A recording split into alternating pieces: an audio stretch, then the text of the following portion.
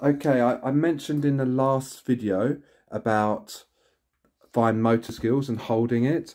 And you're going to do some cutting out now. So you can do some cutting out to cut these, your dolphin out. And also we noticed... No, Okay, thank you. And so I, we noticed that when you wrote this letter D here, we should start at the middle, go round, up and down. So we, it's how you write it is really important.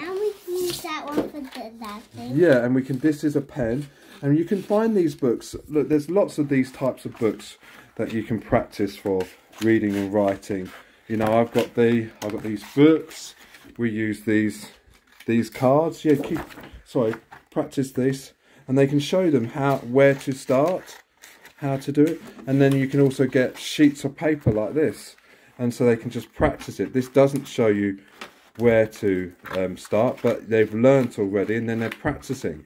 So it's just scaffolding them so they can gradually make it gets more difficult and then, they're have to do it on their own. I've noticed that reading and writing in lowercase seems to be more difficult um, because I um, we've been looking at number plates of cars and there tend to be capital letters and street signs.